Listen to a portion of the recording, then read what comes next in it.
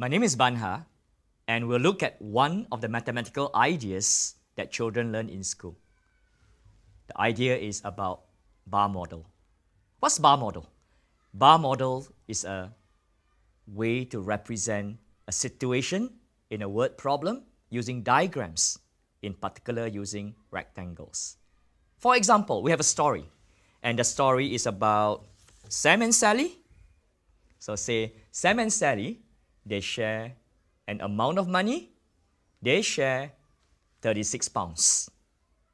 But we do know that Sam has twice as much money as Sally. So what do they do? They draw diagrams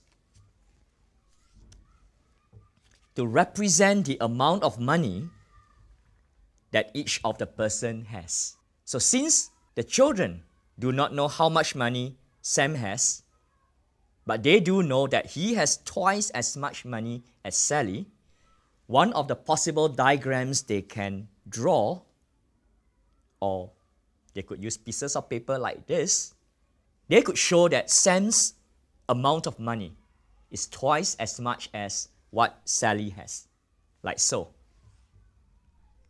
So they have just represented the situation in the word problem using a diagram, which we refer to as bar models.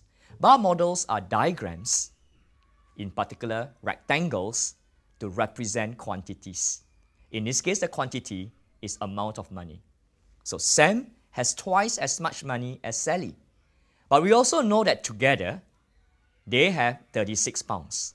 So we do know that these three rectangles is equal to 36 pounds. So if these three add up to 36 pounds, is it possible for children to figure out what each of the rectangle represent?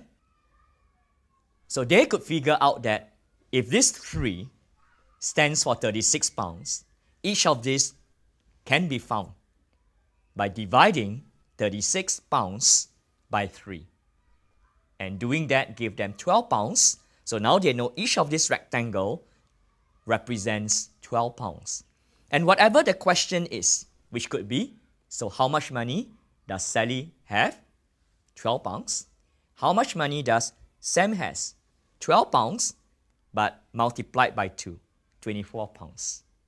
This is one of the ideas that children learn in mathematics the use of diagrams to represent quantities, especially quantities which are unknown.